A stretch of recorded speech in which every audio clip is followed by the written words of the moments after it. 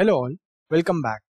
In this lecture, we will be talking about all the prerequisites that needs to be addressed before we start configuring Semarchy XDM environment. The first prerequisite is to have a database. For this course, we will be using Oracle database, which can be downloaded for free from Oracle website. Second would be SQL Developer, which would act as a client to interact with the database server, as well as to access the Semarchy metadata tables and your master data. This can be downloaded for free from Oracle website as well.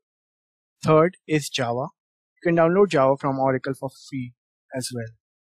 Once we have downloaded Java, we need to set an environment variable Java home and point it to the installation directory of your Java. The fourth prerequisite is to download the Semarchy pre-configured package from Semarchy website. I have opened all these four links in Microsoft Edge, so let's go there. If we start from the very first tab, you can see that we are on Oracle official website. Here we can see different Oracle software versions.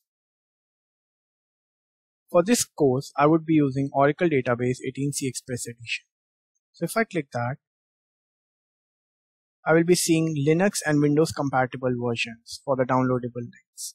I am on Windows 64, so I would be using this. Once I click that, I would be asked to accept the license agreement. I check this checkbox and click on this button, I'll be taken to the Oracle sign-on page. If you have got your credentials, you can put your username and password and once you click sign in, the Oracle download will start automatically. But if you don't have your username and password, you can sign up for a free account and then download the Oracle package. I have got this package already, so I won't be doing it again. If we move to the next tab, here we can see we have got SQL Developer downloads. I've always used Windows 64-bit with JDK included, simply because I don't want to configure SQL Developer to point to the Java home. It comes as a pre-packaged application and it's very simple to use. If I click download, I would be asked to do the same process again, which I did for Oracle Database Server, I have to accept the license agreement and then sign in with my credentials to download this free package. I have got this already on my machine, so I won't be repeating this process. If I go to the third tab, here I can see different Java versions available. I'm using Java 11. So if I click on JDK download here, I will be seeing different compatible versions based on the operating systems. So as we are on Windows, I would be using this. Again, it's present on my machine, so won't be doing it again. And the last tab shows Semarchy website itself. So if we scroll down, we can see different offerings from Semarchy. For this course, we would be using on-premise version. Once you click download here, you will start seeing uh, a zip package being downloaded. So once we have got all these four,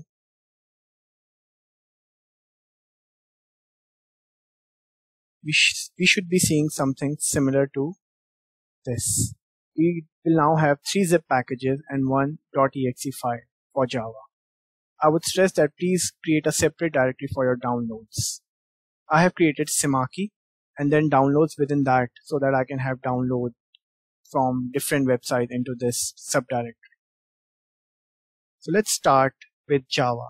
So if I install Java, I just have to double click it I have already got this configured so it will give me an, a message that it is already there. Would you like to reinstall it? I would say no, but it would be very simple. With few clicks, you will have your Java set up on your local machine.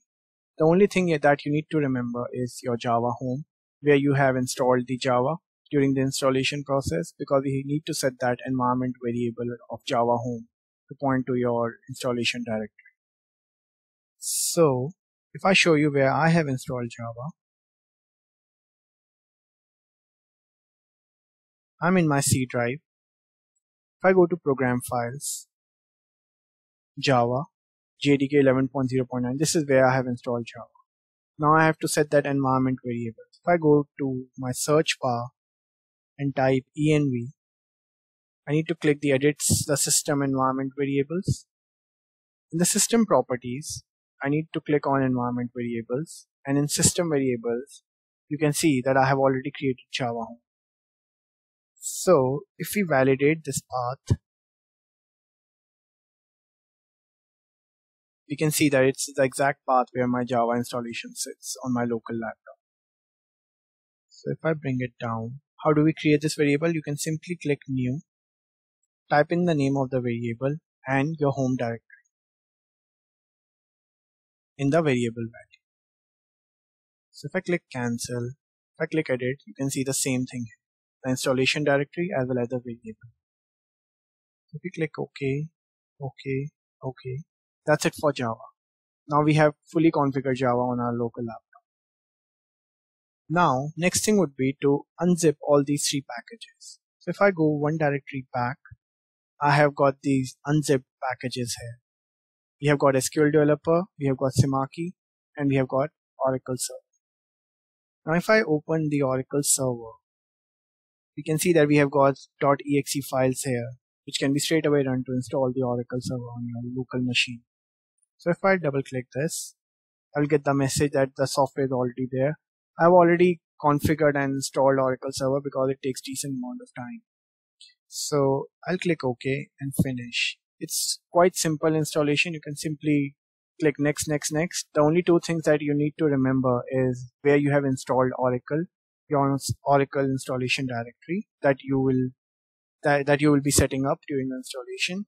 And the second would be your sys password. So it will prompt you during the installation to set up a password for your sys user. Please do remember that password. Once the installation is complete, how can we actually check that Oracle server is up and running? In your search bar, open the services app and in services app, you type Oracle, you can see there are multiple services that have been created during the installation. Most of them are running. So this confirms that Oracle is up and running. So if I close this, come out of Oracle directory, now we'll go to SQL Developer. So if I open SQL Developer, I can see that there is straight away an application that can be opened. You don't need to perform any installation. It comes as a prepackaged application itself. So if I open the SQL Developer, you will see something like this. Now we will set up our first sys user. If I create an Oracle connection by right clicking Oracle connections and then new connection. I will give it name as sys. The username would be sys. The role would be sysdba and here you will put the password that you have set up during the installation. I'll say save password. Now if you have installed your Oracle server on your local machine, your local host should work. And if it doesn't, you can get the host name of your machine from db from tnsnames.ora file in your Oracle server directory. I'll keep the default settings here. I'll test the connection. It says success. And then we'll connect it. So now we have got our first sys user. We will use this user to create further users that are needed for Semarchy XDM configuration. So if I bring it down and come out of SQL Developer, the last folder is your Semanki pre-configured package. If I open this, there are a few configuration files that we need to set up here to point to the right database and write files and Java, etc. But we will be doing this in our next lecture. Thank you.